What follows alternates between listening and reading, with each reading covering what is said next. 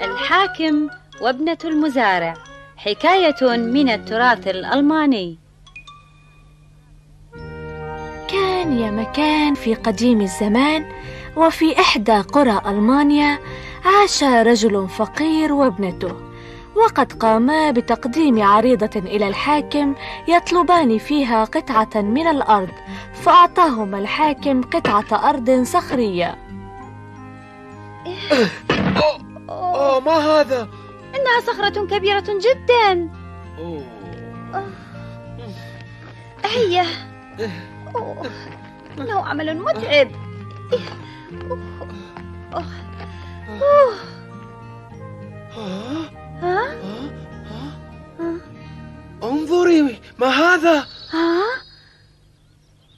آه لو لم يمنحنا الحاكم الطيب هذه الأرض لما عثرنا على هذا الهاون الذهبي. هيا نهديه إلى الحاكم. لكننا إذا فعلنا ذلك يا أبي سيعتقد الحاكم بأننا قد أرسلنا له الهاون واحتفظنا لأنفسنا بالمدقة دعنا نبحث عن المدقة آه، أولا كلا كلا أنت مخطئة يجب أن نهديها له. نعم نعم.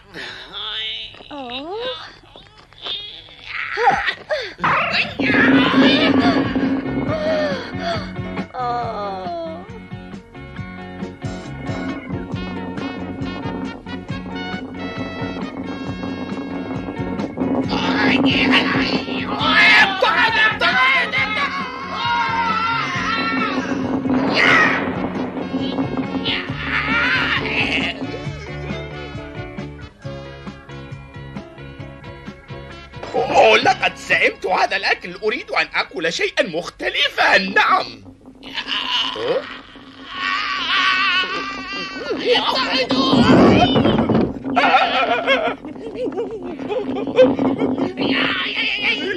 يا إلهي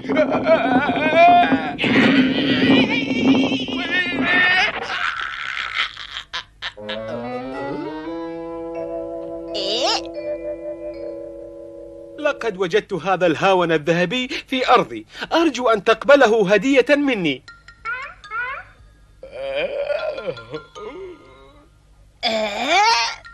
اذهب ماذا تفعل هنا ها؟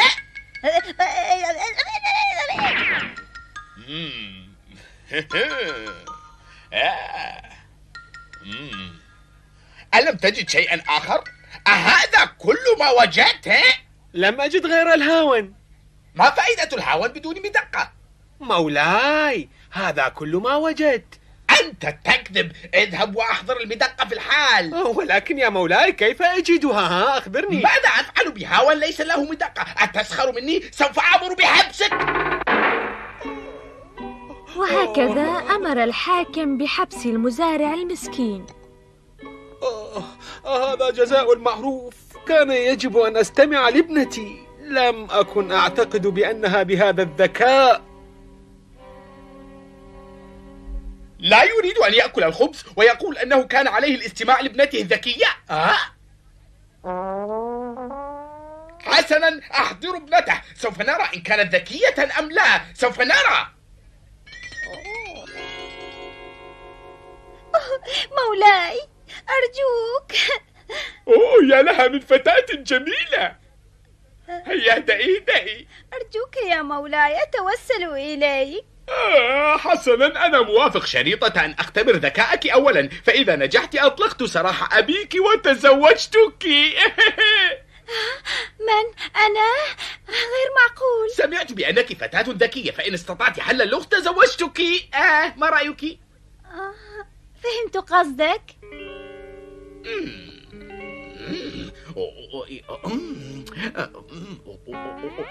وجدتها نعم وجدتها. هل تستطيعين المجيء إلي بدون ملابس شريطة ألا تكوني عارية ودون أن تركبي جوادا أو حربة وألا تسيرين في الشارع أو تخرجين منه أيضا؟ ما رأيك بهذا اللغز؟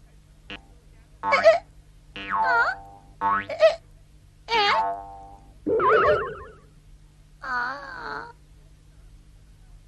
آه. آه. إنها صعبة. آه. سأحاول. أرجوك أن تنتظر.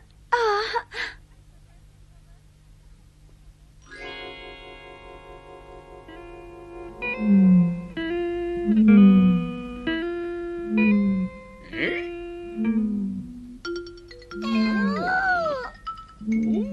هي قادمة.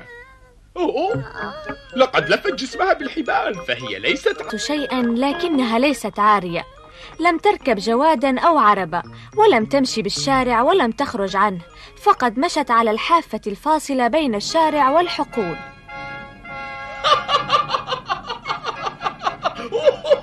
إنك ذكية. سوف أطلق سراح أبيك وسوف أتزوجك.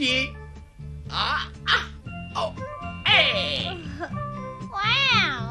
جيد ومرت ثلاث سنين ما هذا؟ ما الذي حدث؟ ما هذا الجدال؟ لم تصرخ؟ هذا المهر ملك لي كلا كلا إنه يرقد تحت بقرتي إنه لي يا سيدي لما هذا الجدال ها؟ اسمع يا سيدي لقد أنجب جوادي العزيز هذا المهر الجميل لكن المهر يرقد تحت بقرتي فهو لي دون شك يا مولاي حسنا سوف أصدر حكمي. إذا رقد المهر تحت البقرة فهو يخصها فالصغار تعود دائما إلى ذويها.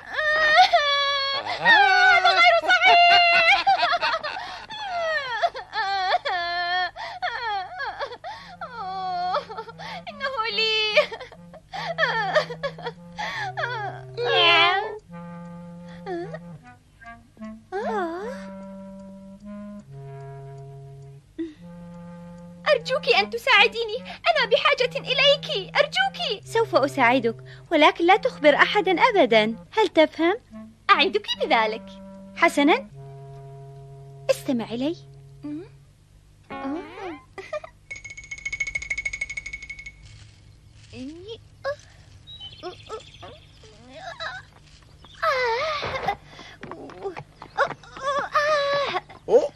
أيها الصبي ماذا تفعل؟ هل جننت أخبرني هيا. إنني أقوم باصطياد السمك يا سيدي.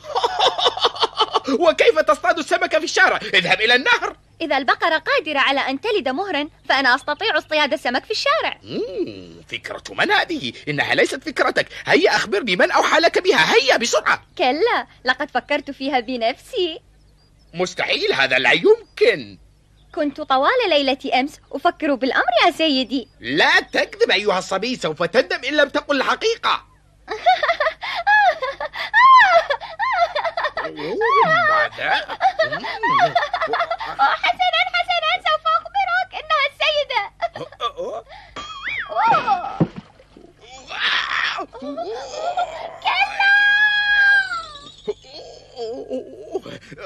كيف تجعلينه يسخر مني هكذا؟ اذهبي في الحال لا تلبثي معي أبدا. هيا اختاري الشيء الوحيد الذي تعتزين به من القصر. ارحلي. حسنا ولكن لنحتفل قبل أن نفترق.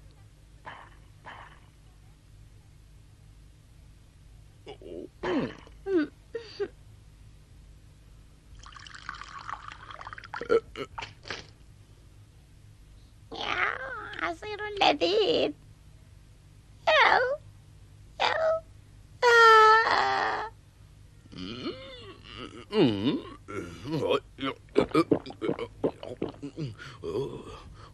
أوه، أشعر بالنعاس نعم.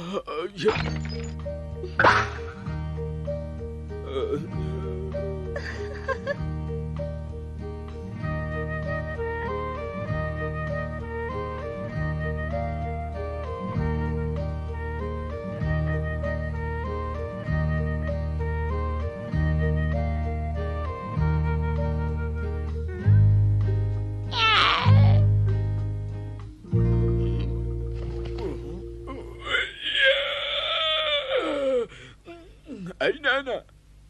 أه؟ كيف جئت هنا؟ استيقظت يا عزيزي ماذا تقولين؟ سيدي لقد سمحت لي بأخذ أعز الأشياء إلى نفسي من القصر آه لذا اخترتك أنت يا مولاي لأنك أهم شيء في القصر أوه. أوه. يا يا لك من ذكية